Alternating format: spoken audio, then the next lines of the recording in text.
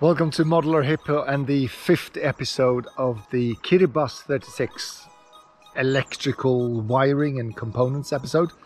Uh, if you're new to the channel, this is a channel where I'm building a 36 foot aluminium boat. I have a playlist with uh, building the motor and a playlist uh, with building the actual boat and this one for the actual electrical components. So if you're interested in those, it might be worth subscribing.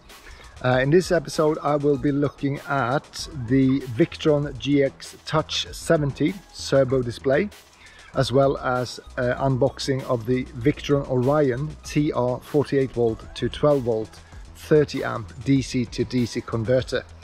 So that's the isolated version. Uh, I will also do a little bit of work on the battery boxes as well as uh, the backup generators. So uh, let's take a look.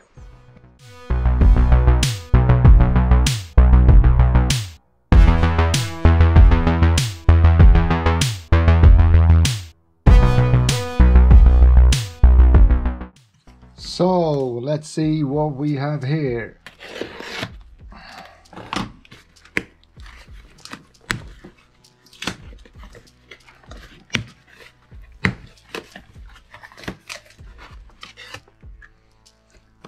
Ta-da! So an isolated DC to DC converter Orion TR. So uh, this is Victron's 48 volt to 12 volt, I think it's 360 watts. Uh, buck converter or step down converter from 48 volts to uh, 12 volts. And that will be part of the setup for uh, instruments and lighting and other things that I will run of uh, 12 volts. So it comes like this, quite a heavy little thing. And I guess there's not so much stuff. There's this little thing, which I don't really know what it is, but I will find out. And here is the actual itself like all Victron stuff, it comes with a, uh, a little uh, instruction manual for a quick setup and the right way of setting it up.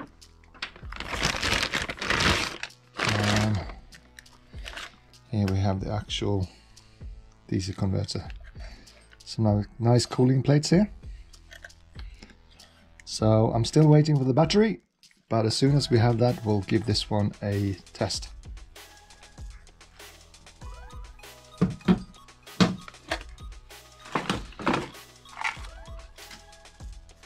What we also got is, doesn't say on the box itself, but they've sent me the right thing, it's the Cerbo touchscreen and it's the uh, the 70 model instead of the 50.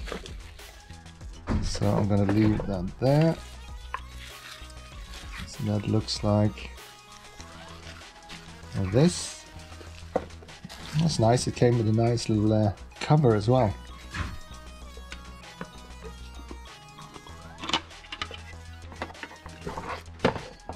There we go. So that will be the, um, hopefully the only screen I will need to be able to operate all the different Victron devices. I might need a separate Android screen for the actual uh, Seplos battery boxes, just to be able to quickly uh, uh, configure and, and, see the health status of uh, the batteries as well. So it came with a nice little lid, which is, uh, I didn't think it would. So that's nice, keep that safe. Also came with a, a HDMI cable, which is built in. And then we have a, uh, what I suppose is a wall mount and then a template for the wall mount as well as well as I guess we have some instructions here as well okay so that seems to be a little tool you get as well to uh, be able to uh, pry something open a little rubber one So yeah, I'm gonna stick this on the board and as soon as I get the battery, I should be able to fire these up and uh, give it a go.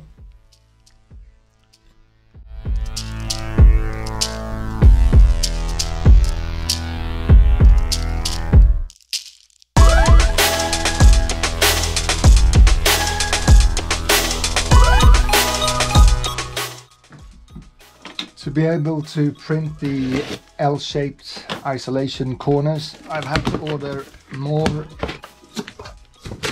print filament. So another four of these. And these are ABS white plastic. So I'll uh, set this up and uh,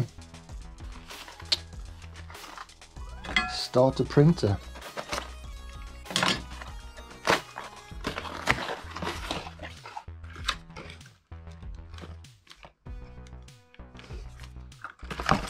The reason uh, for me having to print a new set of these and modify them is that I stupidly forgot about the handles.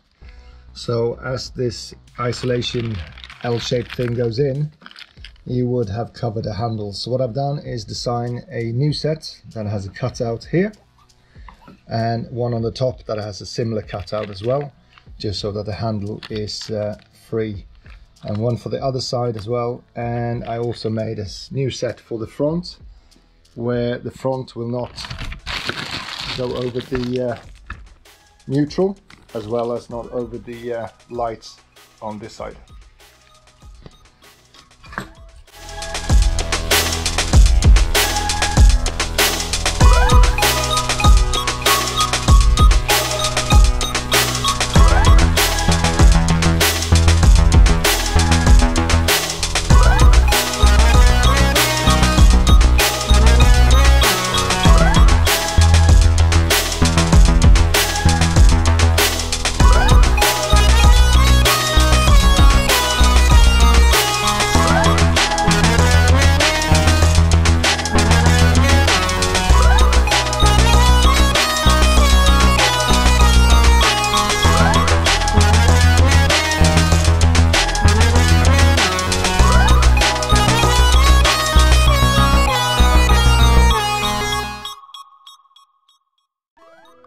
Since my last accident where the first layer didn't uh, grip properly and it caused havoc, I always now make sure that I stick around for the first layer just to make sure that it looks okay. Uh, you can see there straight away there's a little bit of uh, filament that hasn't gone down properly. So uh, I might pause that and try to remove that before it causes issues. Not happy with that, so I've stopped the print and I'm going to give this uh, build plate a good wash and try again. Uh, if you have any ideas why this happens, feel free to uh, leave a comment uh, in the comments, as that would be appreciated. Apparently Bambu Lab is uh, making a glue for the build plate, so I guess that's the solution. Don't know if you can see that, but it's still not 100%. There is a little bit of mist filament on the corner there. But I'm gonna see if the second layer is writing over that piece to save me uh, starting fresh again. So uh, let's see. It seems like the second layer took care of most of the issue. Uh, you can barely see the inconsistency now, so hopefully the third layer should have uh, printed over this. The layers are only 0.2 millimeter in thickness, so we're talking about quite quite small small layers, thin layers. Okay, I'm gonna hope for the best and I'm going to leave this now to print for eight hours. So hopefully everything should come out okay.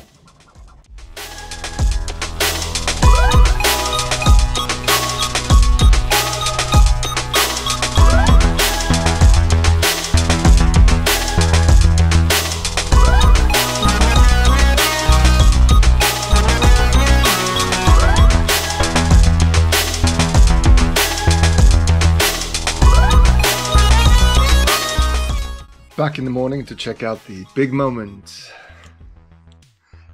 Da-da! Looks good to me. So these are the two halves together on each side to protect the corners from uh, touching the aluminium outer casing so the steel box from touching the outer casing so that is the space for the handles on each side so that's the rear of the box. Now I just need to print print the front. And also before I uh, put these on I made them 9 millimeter thick so I can put a uh, a 1 millimeter rubber mat on the inside because the gap on each side is 10 mil. So just to give it a little bit of cushion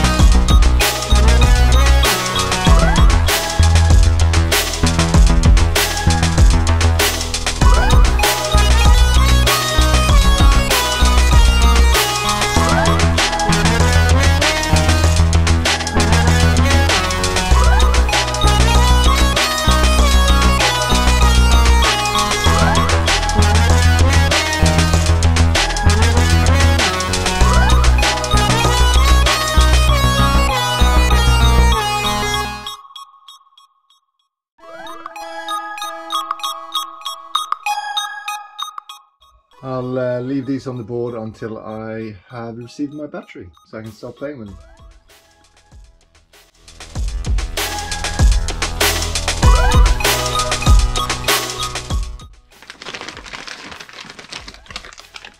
So I believe this is the dual parallel cable that I've ordered. Have a look at that.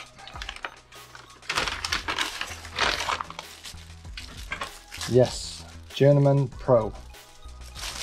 So let's have a look at that. Unfortunately, I will butcher these cables because I want to make them marine compatible. Right now, I don't think this is a tin copper cable, so I'm going to replace. So in all fairness, the only thing I'm after is these sealed uh, plugs so that I can use at least this this end here. I could probably have done this in a, in a cheaper way, but this is what we have. So in theory,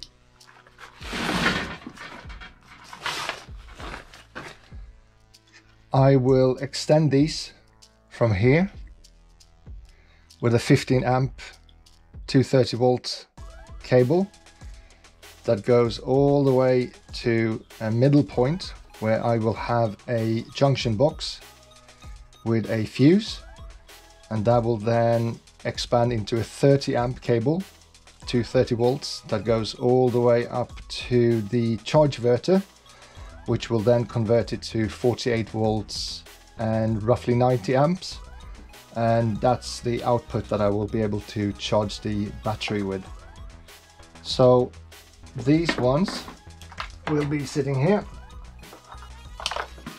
see that? One goes here. And then one goes there.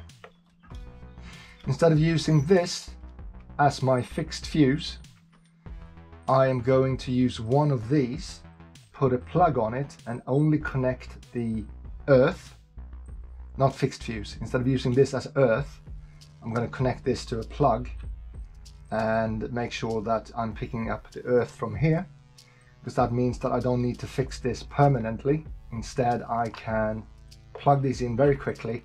If I ever need to take the uh, generator out of its uh, aluminium box that I'm going to create, I only have to kind of pull it out, unplug it and take it with me. So that can be good for security reasons.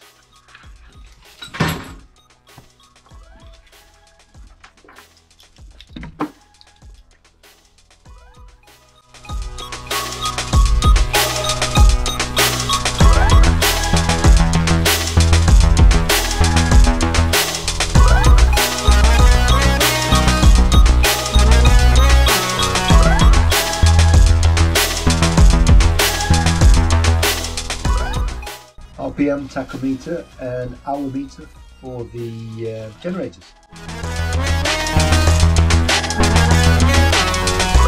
As I'm working, I might as well order some M4 screws and some plastic spacers for this uh, tach hour meter.